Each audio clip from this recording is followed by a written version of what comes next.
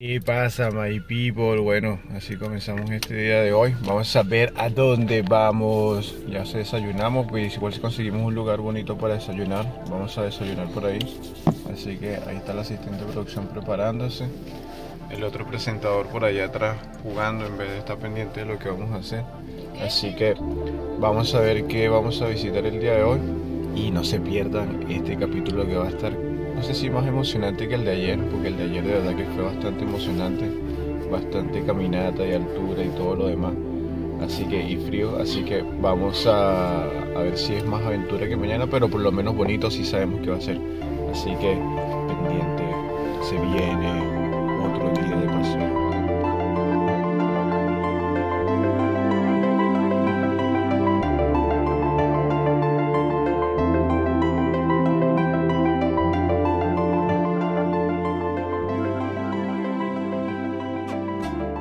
Bueno, antes de llegar a nuestro destino vamos a intentar comer algo, algo sabroso.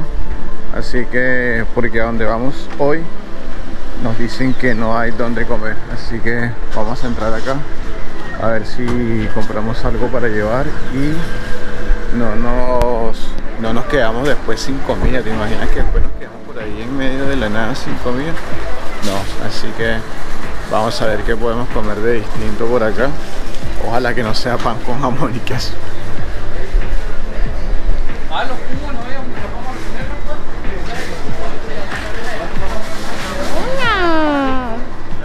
Bueno, algo muy importante, muy importante, también aparte de la, de la comida, casi me caigo, pero... pero algo importante aparte de la comida es la hidratación. Nunca olviden estar hidratados cuando salgan a la calle porque si no va a ser triste su historia. Así que ahora vamos a comprar algo para llevar acá en esta panería hermosa. Así que veamos qué podemos conseguir acá. Bueno, ya tenemos nuestros respectivos snacks Fabiancito tiene su hamburguesa, con su jugo, con su yogur. Asistente de producción tiene por allá, tiene su... A ver, ¿qué es lo que tienes tú? Tiene su sándwich y su torta. Y yo tengo lo más importante que son la hidratación. Yo los quiero ver a ellos pidiéndome agua y ofreciéndome comida.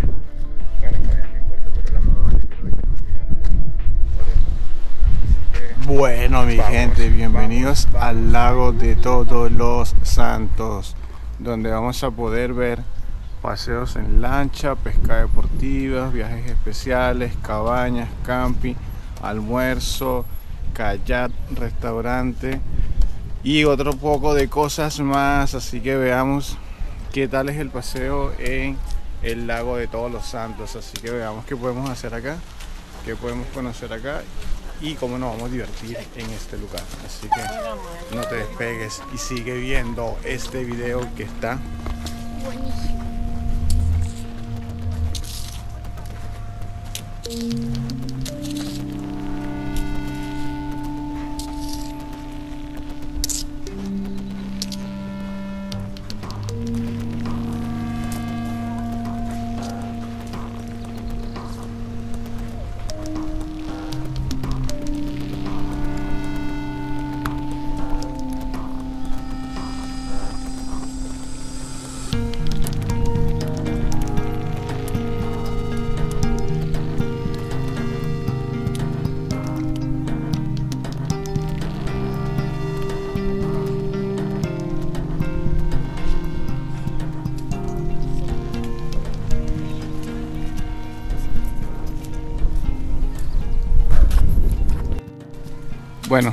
Para mí hubiese sido interesante este, este museo.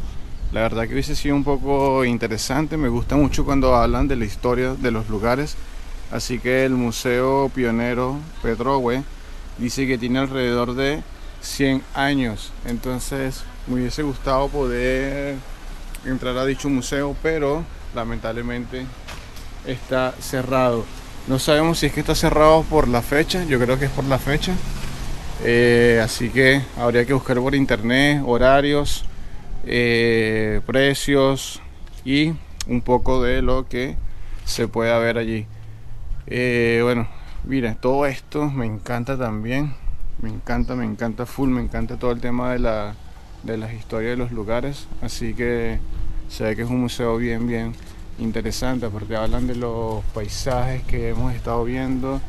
Eh, hablan un poco de la zona, recorridos, eh, los volcanes, como dije, que estamos rodeados de puros volcanes. Entonces, de alguna otra forma, hablan un poco de todo eso.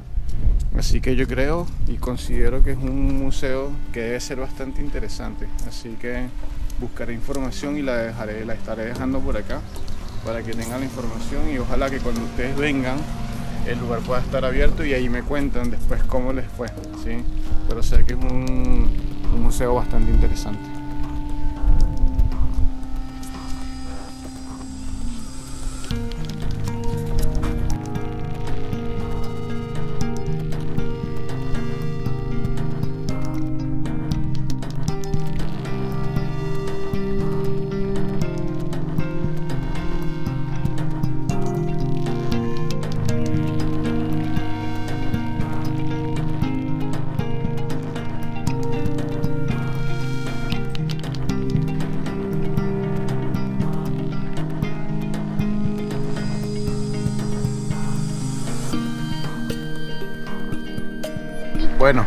Hay un sendero, pero la verdad, la verdad, la verdad está muy largo.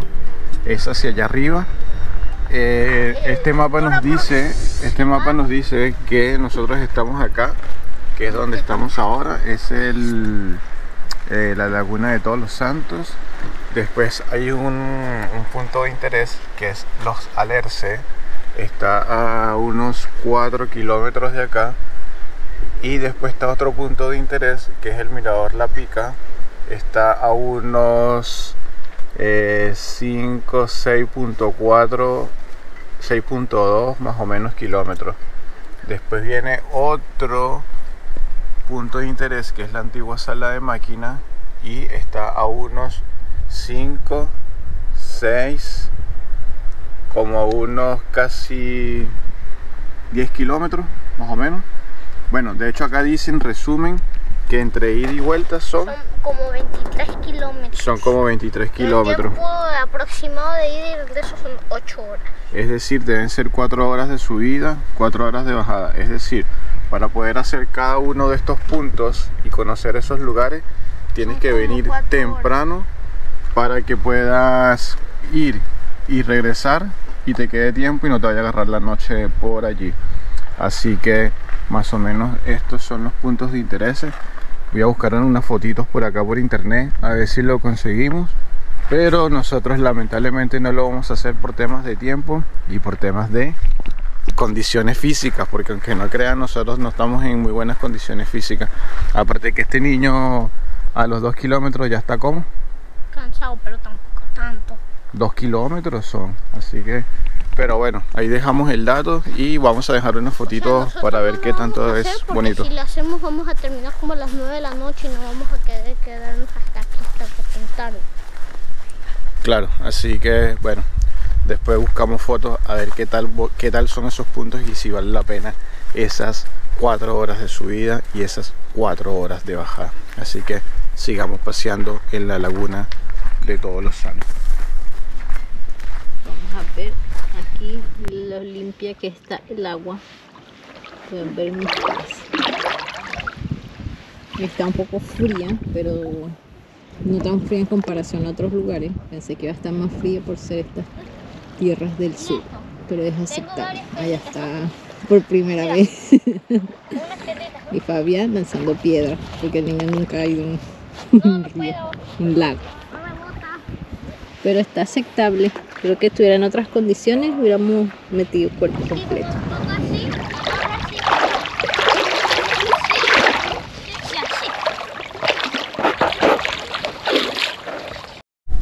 Wow, algo que me tiene a mí por un poco sorprendido es estas piedras, a pesar de su tamaño, eh, son súper livianas. Eh, no sé si hay un piedrólogo, no mentira, no sé cómo se le dice a la gente que estudia los minerales o las piedras o este tipo de cosas pero si hay alguien por ahí que ve estos videos y conoce este tipo de cosas, avíseme. Eh, tenemos una teoría nosotros, una teoría, no sabemos si es correcto o no, pero como estamos rodeados de volcanes, todos estos son volcanes, hay unos están activos que están hacia la parte de atrás, por acá atrás, ahora sí puedo se los muestro. Dice ser que puede ser que como son piedras volcánicas, son piedras huecas. Entonces no sé si se logran ver en la cámara, hay como unos puntitos, unos puntitos y me imagino que por dentro deben ser piedras huecas. Entonces creo que eso le tiende a quitar un poco el peso. Pero la verdad es que es sorprendente porque para el, para el peso de la piedra, no, ¿qué digo? Para el tamaño de la piedra no pesa, no pesa mucho. A ver, vamos a hacer la prueba con otra de estas. Ah, claro, esta sí, hay una diferencia entre este tipo de piedra y esta. Esta no pesa, esta sí pesa. A pesar de su tamaño, es como que... Y mira. Y otra cosa que encontramos fue este palo de sable de luz. que mira cómo suena. No sé si se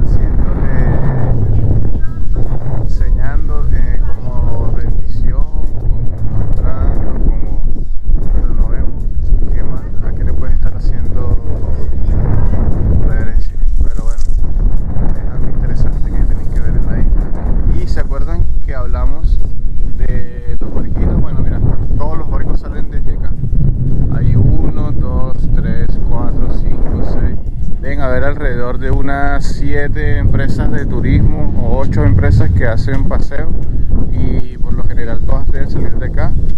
Como dijimos, duran aproximadamente entre 25 a media hora y tengo entendido que lo que valen es como unos 6 mil pesos aproximadamente. Así que les dejo el dato. Como les dije, no sé si sea algo recomendable, pero en esta oportunidad no lo vamos a hacer porque nos parece que es un poquito un poquito costoso para lo que se puede ver que van a recorrer. Entonces preferimos gastar ese dinero en otra aventura. Así que ahí dejamos el dato.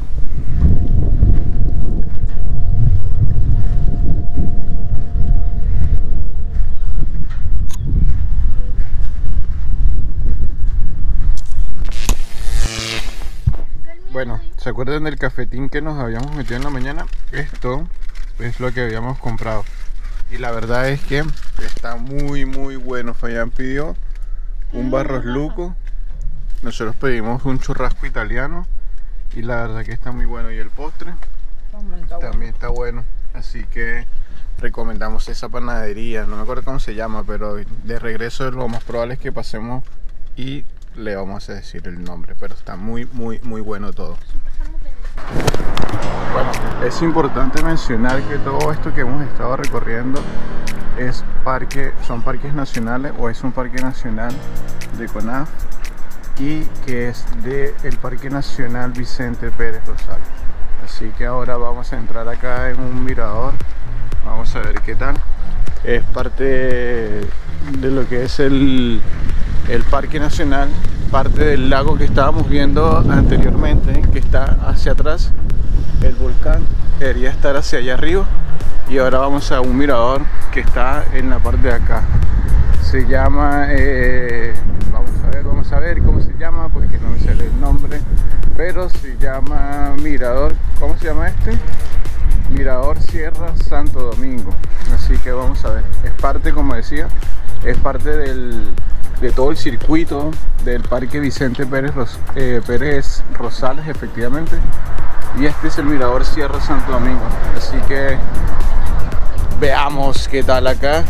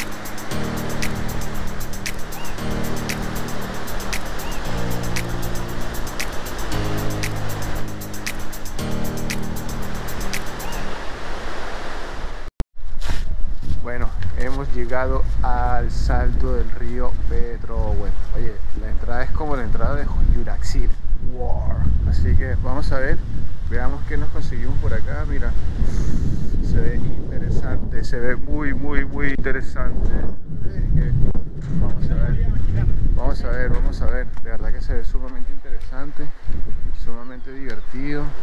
Me gusta, me gusta, me gusta, me gusta. De verdad que me gusta esto. Ah, oye. Esto sí es ser inclusivo. Mira. Esto, por lo que estoy leyendo, esto es para las personas no videntes. Entonces ellos van tocando y acá les van explicando poco a poco cómo es un mapa del lugar. Wow, esto honestamente se lucieron con esto. Me encantó. Esto sí se llama inclusión, inclusivo. Nada de, bueno, no, mejor no digo nada para no entrar en debate. Así que sigamos recorriendo y veamos, porque si no, nos pueden tumbar el video luego. Así que vamos a ver.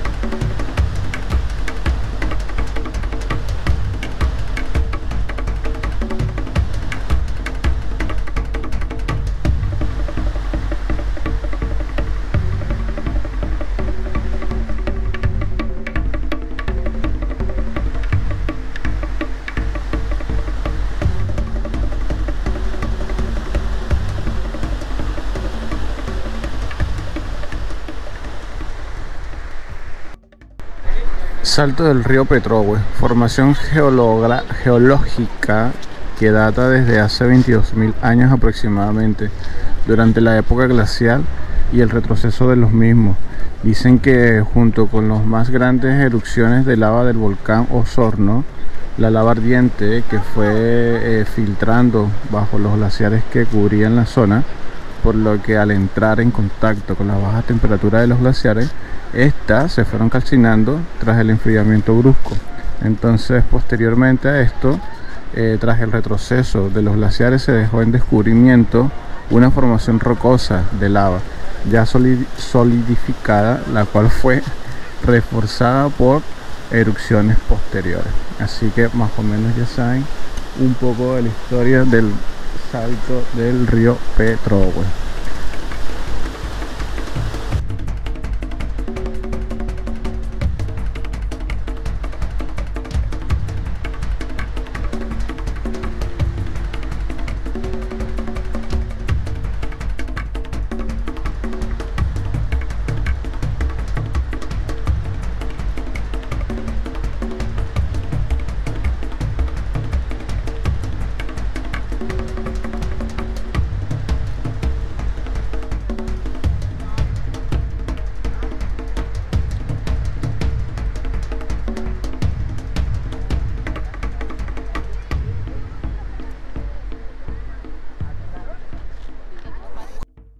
Bueno, como veníamos diciendo, eh, algo interesante es como que el tema de la inclusión, mira, esto todo tiene relieve, tiene los nombres, tiene, eh, esto tiene un nombre, no me acuerdo cómo es que se llama, pero, ¿cómo?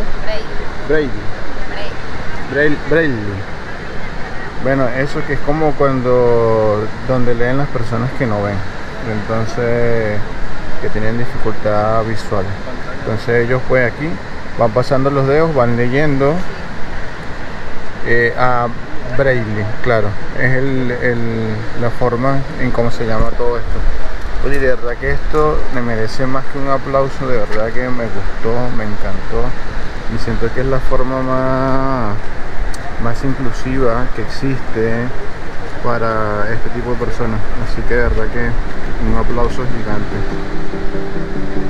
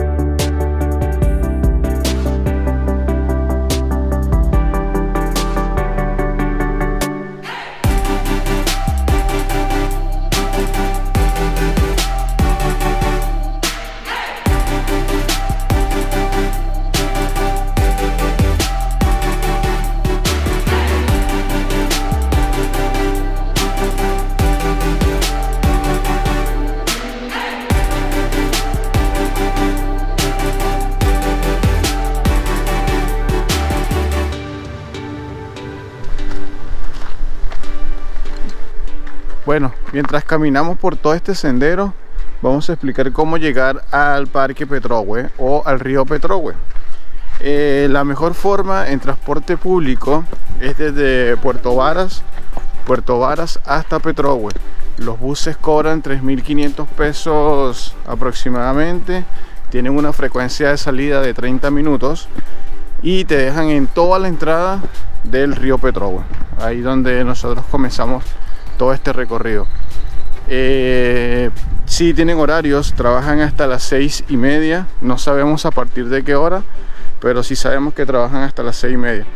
Así que hay que considerar eso, porque si después pasan las seis y media y no te vas a esa hora, lamentablemente te puedes quedar atrapado acá. No en el parque, pero sí en la zona. Cierto.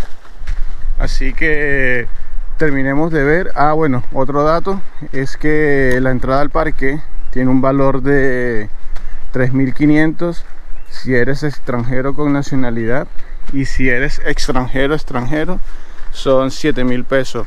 Los niños entran Gratis. Los menores de 11 años. hasta 11 años entran gratis y los adultos mayores también creo. Nada mentira confir- confirmaremos pero creo que los adultos mayores también entran gratis.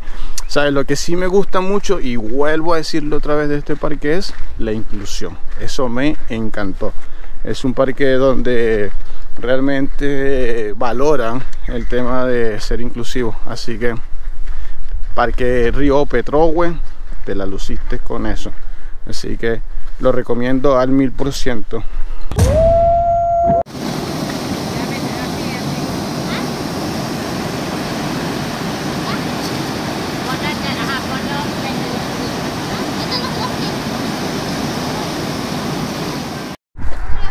Bienvenidos a.. Puerto Puerto Guara. ¿Puerto qué? Puerto Vara. Puerto Vara.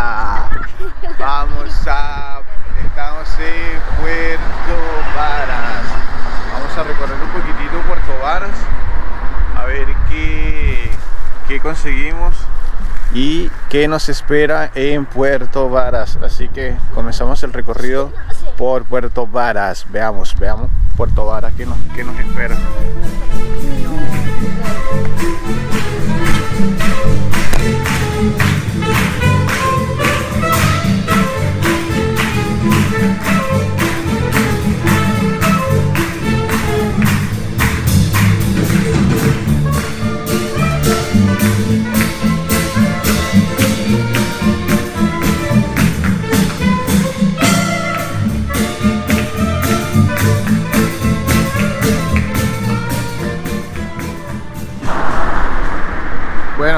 Al fondo se ve el monumento, el monumento, monumento, monumento, monumento.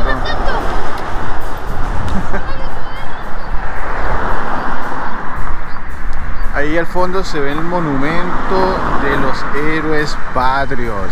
Por ahí se ve, se logra ver un poquito a Comodoro Arturo Merino Benítez. Eh, este otro señor que se parece como Arturo Prar o algo así. No, no desde acá el nombre, pero vamos ahorita a ir a ver cómo se llama. Y este que parece ser, ¿quién? Ese es Bernardo. Se parece, pero no sabemos si es. Dice que es... eh, no, no leemos desde acá. Pero bueno, esa es la plaza de los... ¿De los qué? De los patrios, de los patrios, patrios, patrios. Así que vamos a seguir conociendo Puerto Varas, vamos a ver un poquito de su historia, de cuándo fue fundada, por quiénes fueron fundadas y su casco histórico que la verdad que para mí es algo bien llamativo porque como dijimos en algunas oportunidades eh, Puerto Vara tiene un poco de descendencia alemana y eso le da un toque cool así que veamos y sigamos nuestro recorrido por Puerto Varas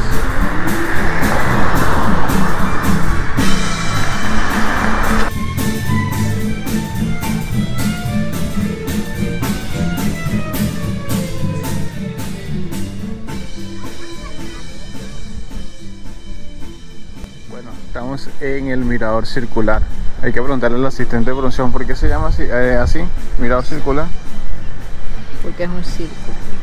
Oh my god, porque es un círculo. Entonces se llama mirador circular, ¿por qué? Es un círculo. Porque es un círculo. Entonces, pero un mirador bien bonito para mirar el lago, parte de la ciudad, parte de la ciudad de acá. Hay unos como unas avecitas, me imagino que son como unos patitos, algo que está por ahí. No. Así que Fíjate que es un planta. bien bonito. De aquel lado, un poquito para el lago para que la gente se, se meta, moje sus piecitos, este, disfrute del agua.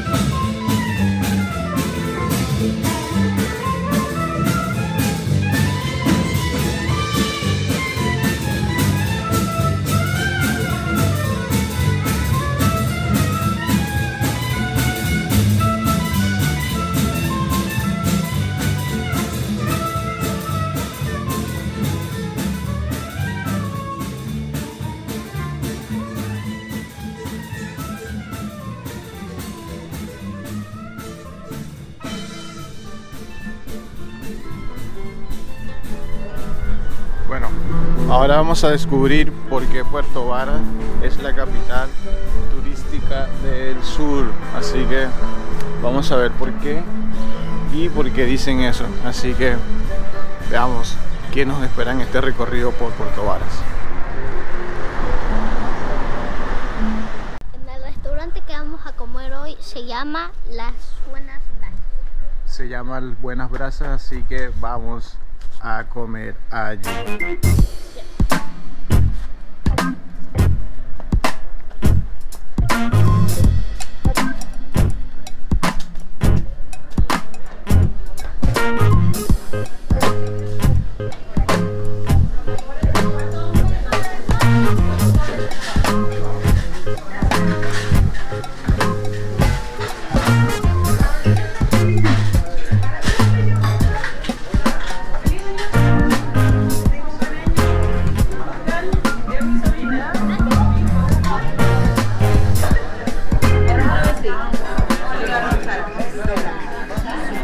Bueno, vamos a hacer una apuesta.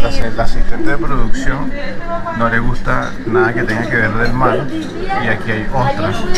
Entonces vamos a hacer una apuesta. Si ella se come una, yo pago. Todo, todo, todo. Y va a ser cuenta de la casa, es decir, cuenta mía. Pero si no come una, le va a tocar pagar ella todo, todo, todo. Y no va a ser pues un costo que vamos a cuestear con el tema de los viajes. Así que ¿Qué dice? ¿Acepta la prueba o no? No. Uno solo. Uno solito. Una. Cómetelo. Cómete uno solo. ¿Prefieres pagar todo tú? ¿Qué les parece, señor? Va a perder la apuesta. ¿Y si yo me lo como? ¿Qué va a tener que hacer? Nada. Entonces paga todo. Ay, lo lo está tanqueando a ver si se lo come.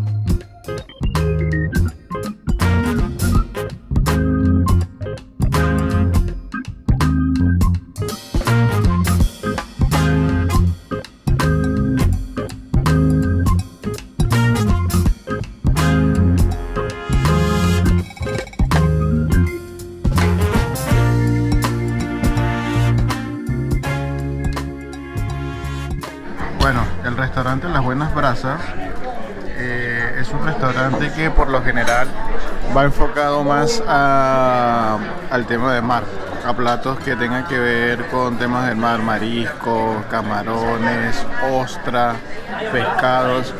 Eh, es difícil que se consiga un plato acá típico como decir, no sé, eh, fideo con salsa boloñesa o lasaña, cosas así, va a ser súper complicado. Así que hay que tener en consideración eso. Sin embargo, si hay platos como tipo eh, lomo, por poner un ejemplo, creo que hay, hay un plato de longaniza, hay parrilla también. Este, lomo liso, todo lo que tenga que ver con carnes de vacuno también van a conseguir. Pero hay que tenerlo en consideración. Porque si no les va a pasar lo que le está pasando aquí a la señorita que eligió comer acá. Y resulta que lo que ella quiere no hay, ¿verdad? Nada. Entonces, capaz le va a dar un puntaje muy, muy, muy bajo. Así que bueno, nada que hacer. Esperemos la comida a ver qué tal. Bueno, si no quieren comer nada de lo que es cosas marinas, acá Don Pedro les va a preparar el lomo, pero de una forma espectacular. Así que, ya saben, si no comen cosas marinas como nos está pasando con la señorita en la mesa, acá está, mira, el lomito bien, bien cocido, carne de vacuno, longaniza y cualquier otra cosita. Ahí Don Pedro con bastante cariño se los va a preparar.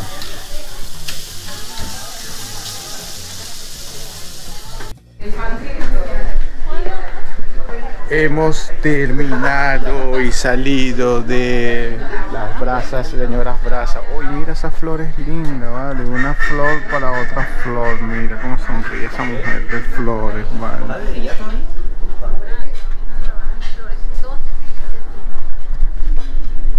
Bueno, eh, como era de esperar, ya lo sabíamos igual, pero acá los señores brasas, o las grandes brasas, o las brasas como se llamen las brasas, eh, las buenas brasas,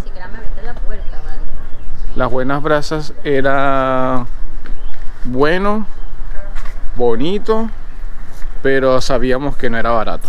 De por sí ya al, entrar ya sabíamos que era, no era barato. Dice el asistente de producción, ¿dónde está? Ah, ahí. Dice el asistente de producción que no era tan caro a comparación de otros lugares que hemos ido.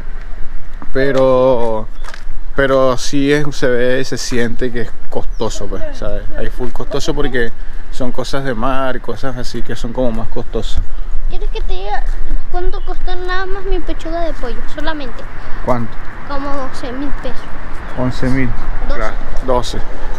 Bueno, sí es un poquito caro, pero no tanto como otros lugares. Pero sí es muy bueno y recomendable. Así que bien por la gente de Buenas Brasas. Puerto Vara. Puerto Vara es una ciudad del sur que se encuentra a orillas del lago Yanquihue. Bueno, la historia de Puerto Vara se remonta a 1852 cuando don Vicente Pérez Rosales solicitó fondos públicos para construir una embarcación y continuar adelante con el proceso de colonización en la zona. Es decir, que Puerto Varas tiene historia desde 1852 aproximadamente. Con el tiempo también fueron asumiendo, asumándose acá no solamente los alemanes, sino que también personas provenientes de Australia, eh, la cual empezaron bueno, a colonizar y a, a ir un poco a poco, cada vez como que llenando un poco más la zona y todo este tipo de cosas. Así que Puerto Varas es un lugar eh, turístico por lo mismo, porque es, una, es un lugar con mucha historia, con mucha gente de otros países y que fue colonizada y no fue invasión. Eso es lo bueno, que Puerto Varas tengo entendido por lo que hemos leído y visto, que no fue invasión, sino que fue justamente la gente que dijo, ¿sabes qué? Vamos a hacer que se venga gente acá a vivir, que aporte, que colabore y que vaya construyendo la ciudad poco a poco. Así que ya después, en, esos años aproximadamente, eh, empezaron a salir las empresas de turismo, empezó a salir el turismo en tal. Entonces ahí como que se empezó a conocer Puerto Varas y Puerto Montt por sus partes más turísticas de la zona. Así que de verdad que buena por parte de Puerto Varas y de don, ¿cómo se llama? Don Pérez Rosales que solicitó que viniera gente a vivir acá.